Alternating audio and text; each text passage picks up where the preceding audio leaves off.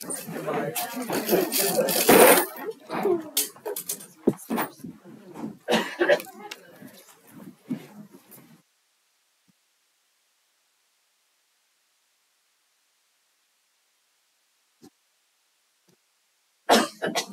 the box. What's the box? Right here.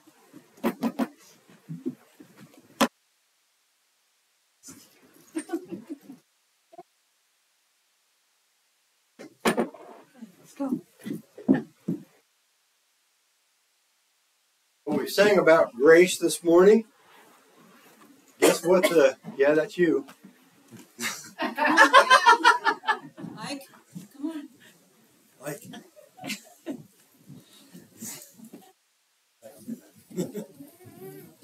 Vanity comes naturally, doesn't it?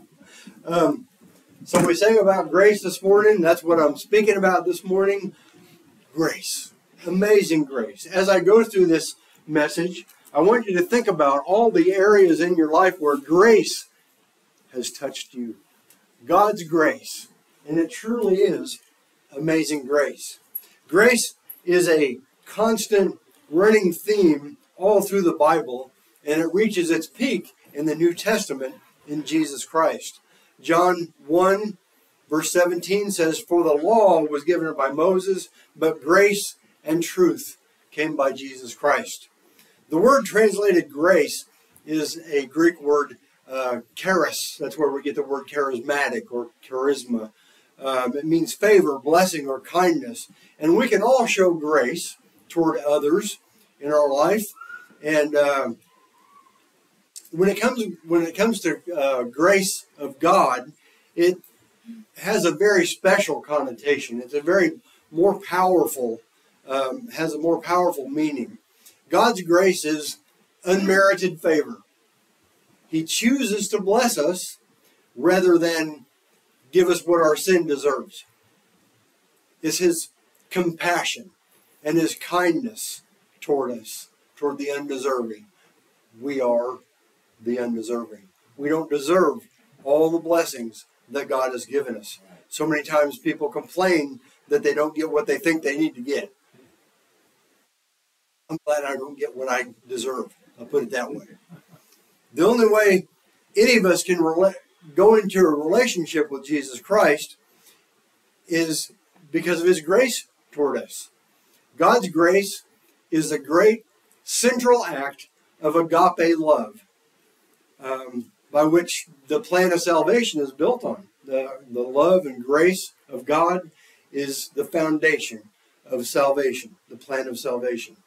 Grace began in the Garden of Eden when God killed an animal to cover up the sins, uh, the nakedness of uh, Adam and Eve. Um, and that was in Genesis 3:21. He could have easily, being God, just got rid of it right there, wiped out Adam and Eve, and started all over again. But he didn't. Why? His love, his infinite, um, unfathomable, um, incomprehensible love toward man caused him to do what he did. His grace flows from that love. That river of grace runs all through the Old Testament when God instituted blood sacrifices, and it was the grace of God that, that forgave those who believed in him and followed him and trusted him. Hebrews 10, verse 4 says, For it is not possible that the blood of bulls and goats could take away sin. Sinful man showed their faith by offering the sacrifices that God required. So God instituted grace. He's the instigator of grace, and it's from Him that all other grace flows. God shows both mercy and grace, but they're not the same. Mercy withholds punishment. Grace gives us what we don't deserve. And I'm glad it works that way. I don't know about you, but I am so glad. I just praise God for his mercy and his grace toward me. God chose in mercy to cancel our sin debt by sacrificing his perfect, flawless, sinless son in our place. 2 Corinthians 5:21 says for he made him who knew no sin to be sin for us. Why? That he might become the righteousness, that we might become the righteousness of God in him, in Jesus Christ. But he goes even further than mercy and extends grace to his enemies. And we were his enemies. Romans 5:10 says that while we were yet enemies, he extended his grace and his love toward us. Grace is God uh, given the greatest treasure to the least deserving, which is every one of us. And this is what God, this is what makes God God's grace truly an amazing grace. Let's stand as we, read our scripture today. It's um, Ephesians chapter 2, verses 8 and 9, if you're already there.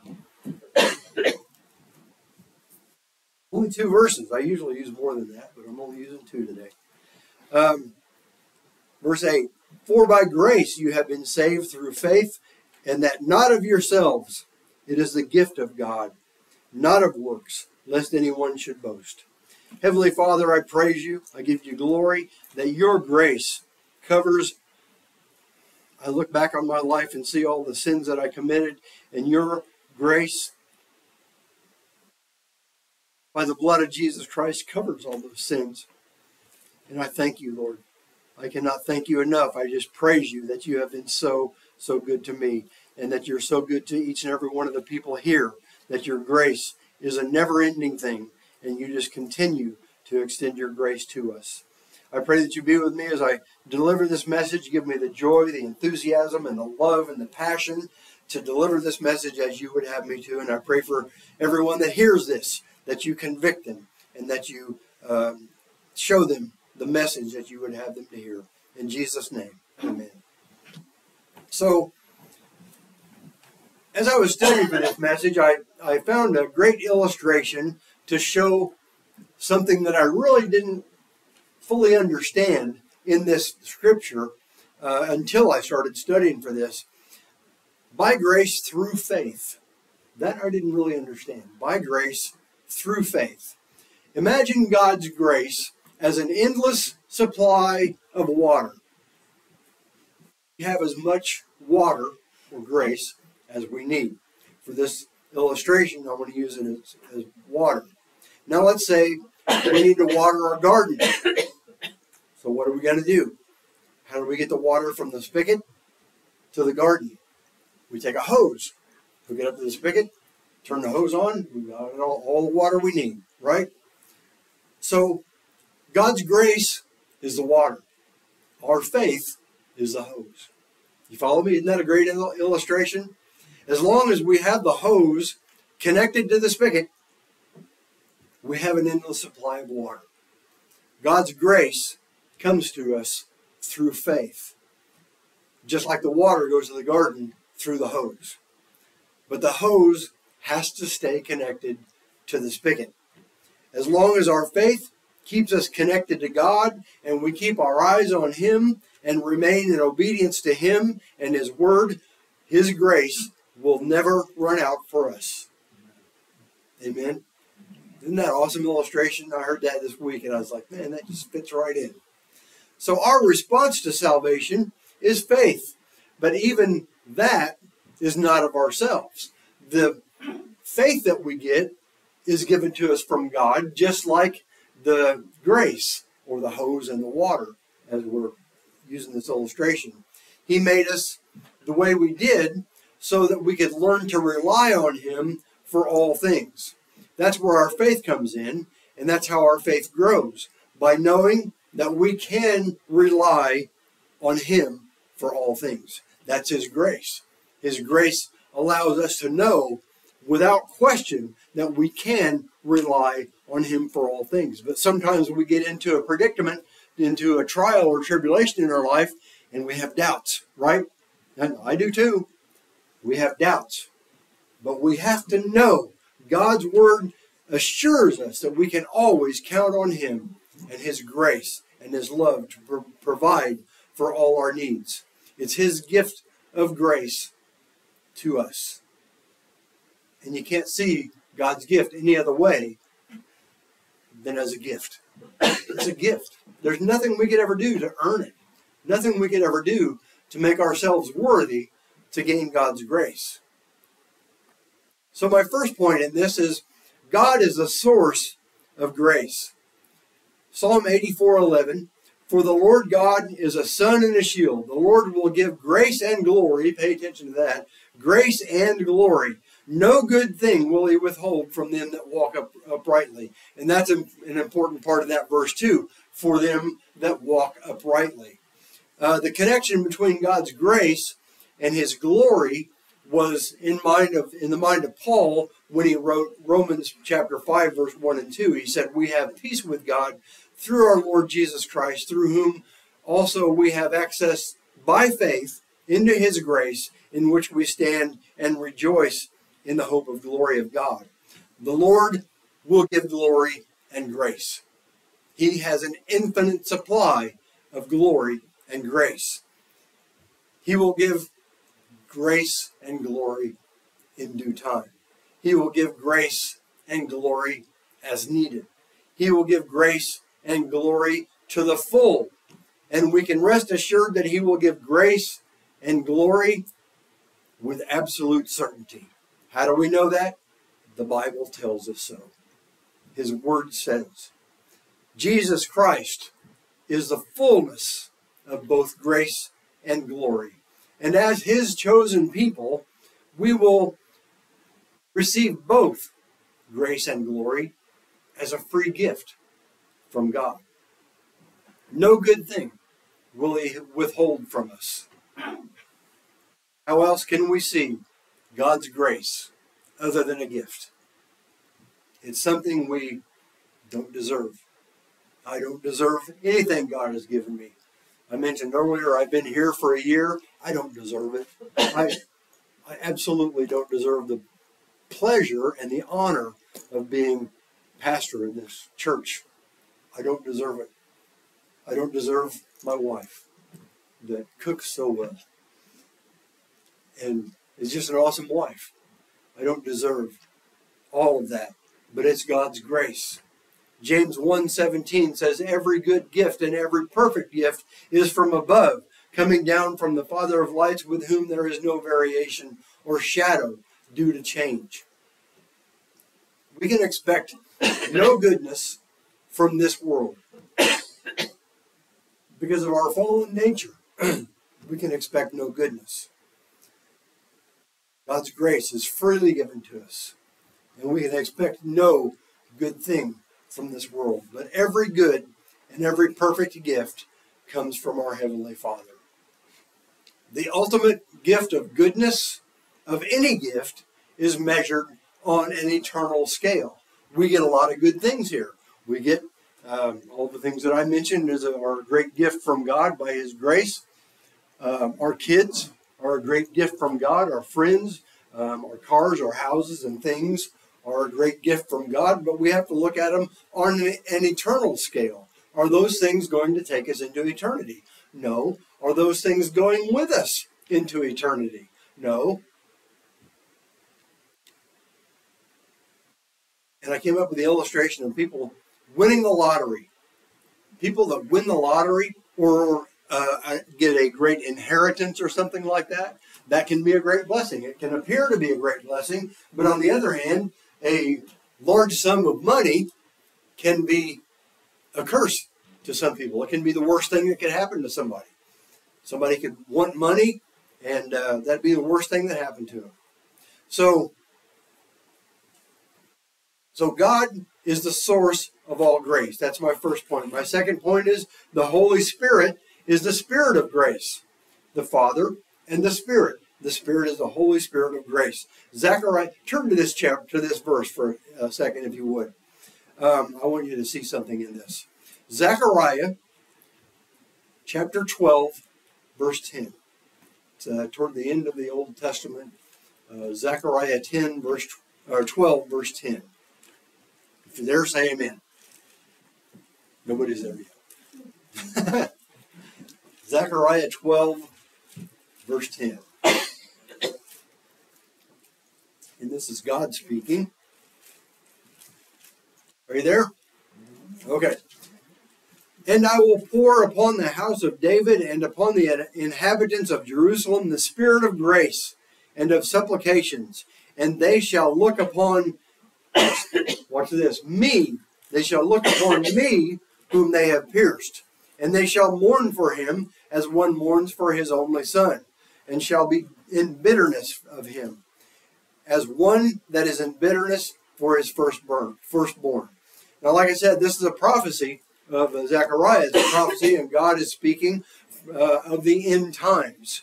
The thing that stands out to me most about this verse is that God will pour out his spirit of grace on Jerusalem after they realize that they have pierced him. After they pierced him. Who did they pierce? Jesus. A thorn of crowns pierced his head. Nails pierced his wrists and his feet. A spear pierced his side. After they realized what they did, after they realized that God, they prayed all this time for a Messiah and they killed killed him. After they realized that, then God will continue to pour out His grace upon them. That is a great testament to the love and the mercy and the grace of God. After they realize what they did, He's going to show His grace to them. And Jerusalem is in the news right now. There's lots of turmoil over there. And I believe this passage is going to be fulfilled very soon. Very soon. Um, it's going to hit the Jewish people like a ton of bricks, what they did. And they will come to God. And God will pour out his grace upon them. So we've learned that God is the source of grace. The Holy Spirit is the Spirit of grace. And watch this. This is my third point. Grace comes to us through Jesus Christ.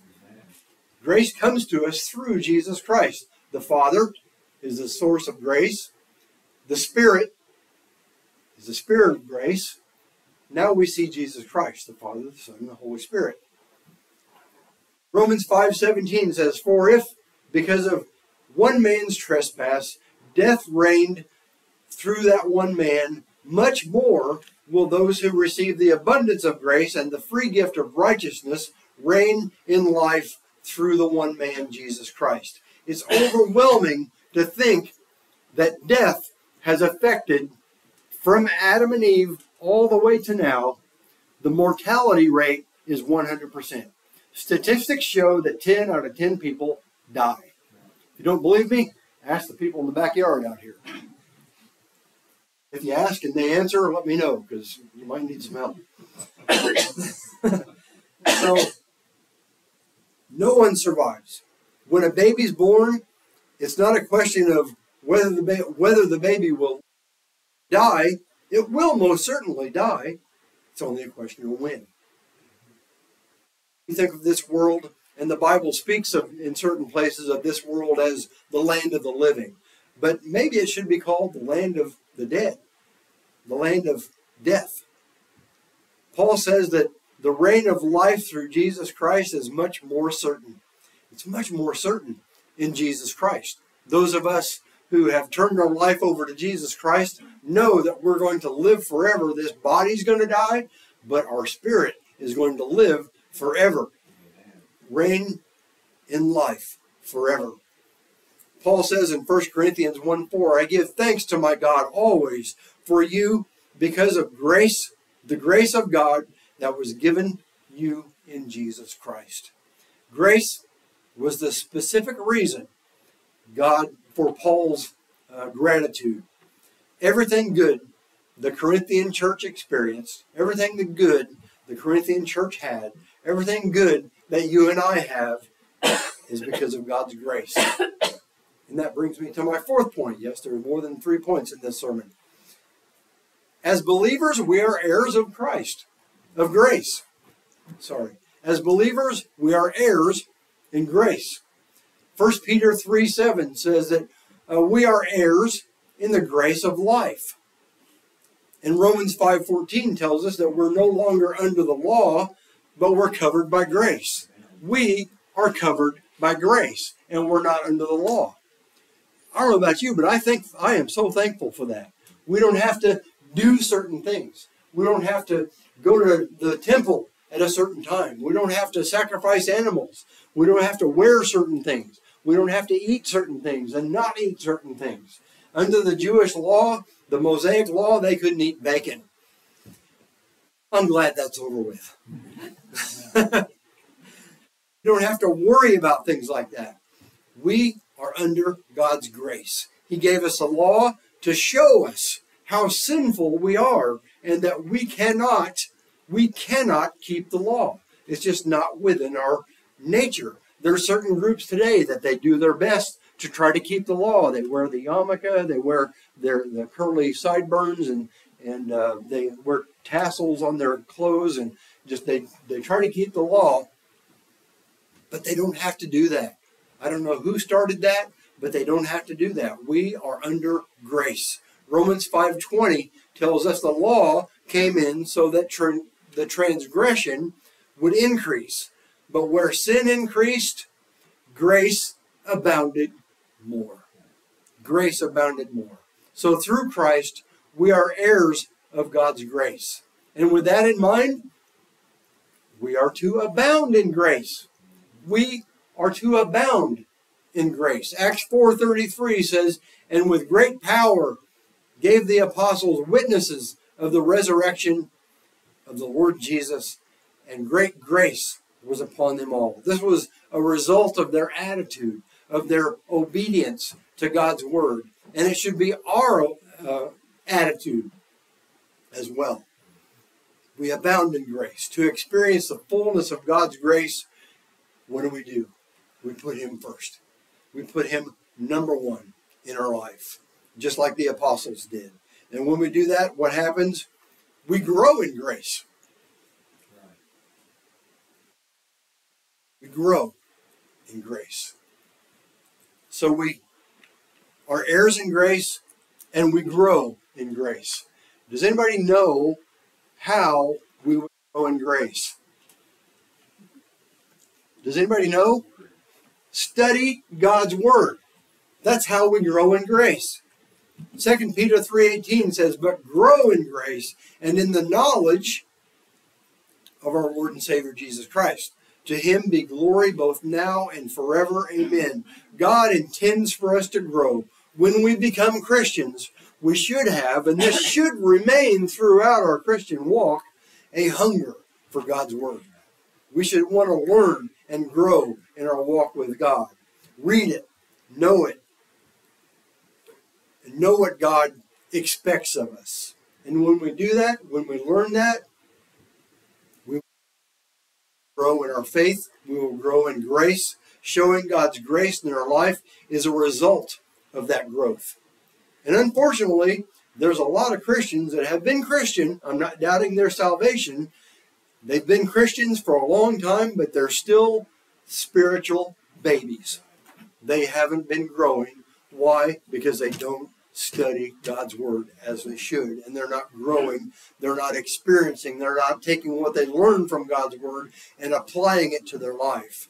That's why we uh, gather together on Wednesday night and I didn't mention this in the announcements, but we're going through the book of Ephesians on Wednesday nights, and it's a great study. We have great discussion. This past uh, Wednesday, we got through five verses because the discussion is just so awesome. We have great discussion. It's not, it's not just me talking like here, it's everybody else talking. And I learn as much as everybody else. I lead the discussion, but it's an awesome thing. So Wednesday nights, I strongly, strongly urge you to join us on Wednesday nights. We learn, we grow, we become more like Christ, and that is our goal. When we do our best to reach that goal, God's grace will without a doubt be seen in our character. And God's grace should be seen in our character. Ephesians 4:29 says, let no corrupting talk come out of your mouth, but only such as is good for building up, as fits the occasion, that it may give grace to those who hear. That's Ephesians 4:29. And Colossians 4 verse 6 says, "Let your speech always be gracious, seasoned with salt, so that you may know how you ought to answer each person." So that concerns our speech. Two verses. The Bible repeated it. What does that mean? When God when the Bible repeats something. It's important, right? It's very important. Our speech reflects what's inside of us. The language we use reflects what's in our heart. Jesus tells us in Matthew 15, 18, but what comes out of the mouth proceeds from the heart, and this defiles a person.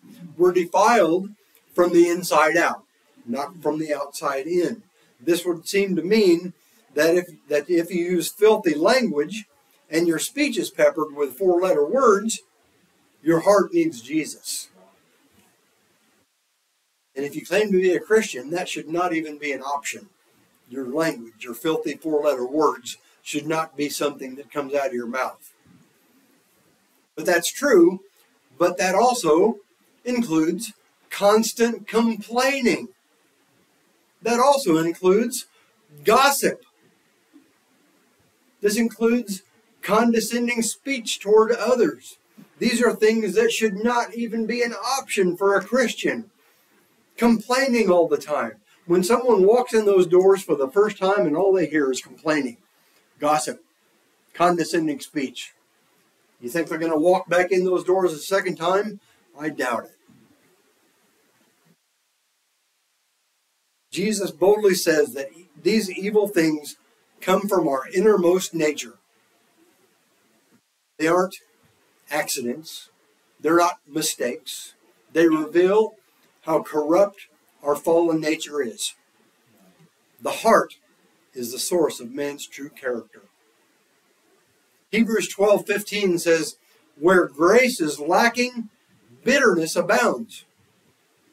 Where grace abounds, forgiveness grows. I'm going to leave you with one story. Some of you may even remember this.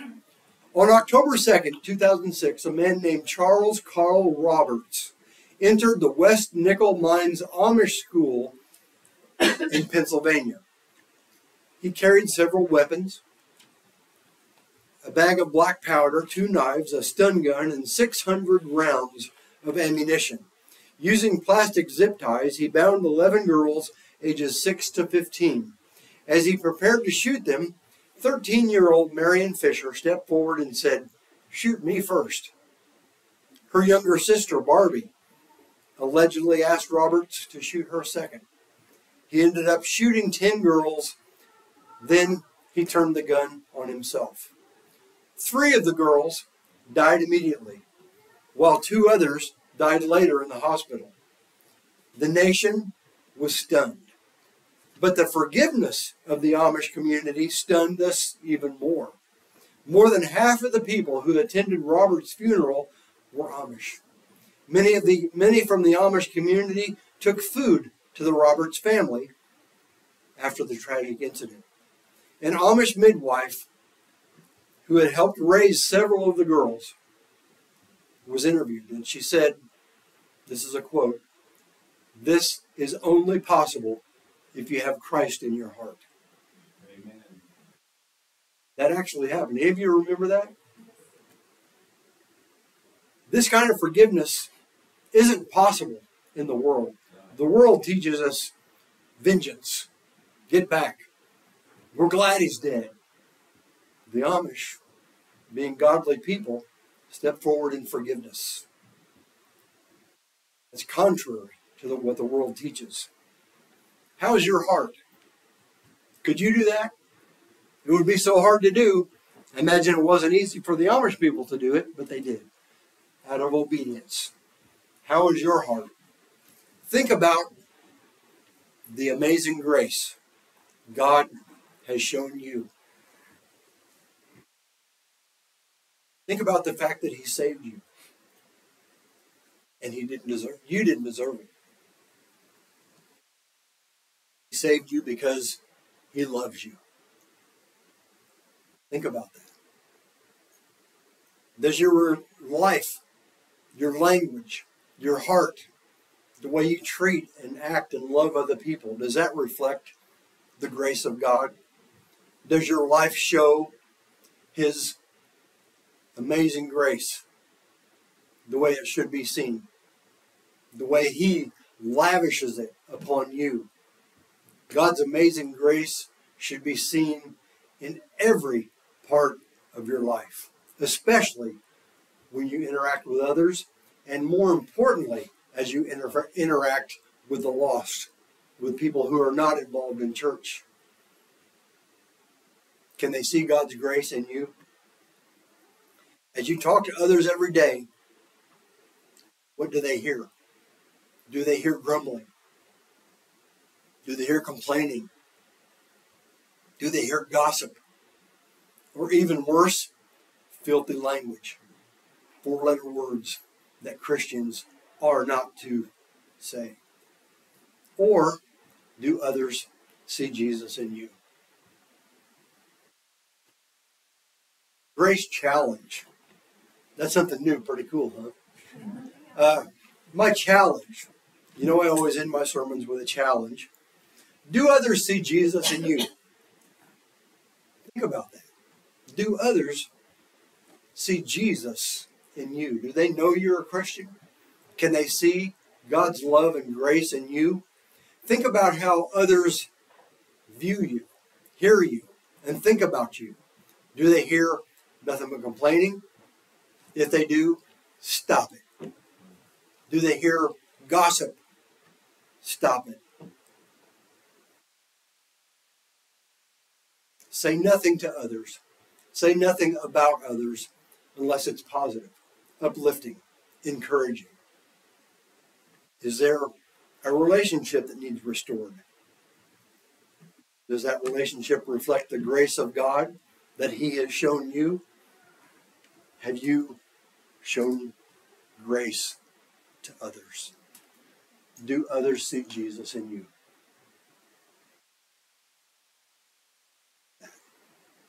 Let's stand and have a word of invitation. If you need to come forward and pray, as always, this altar is always open. Always open. Come forward and pray. If you need to talk to me about salvation, absolutely do that today, or baptism, or whatever it might be. I'm here for you guys. So as we sing. Page 59. 59.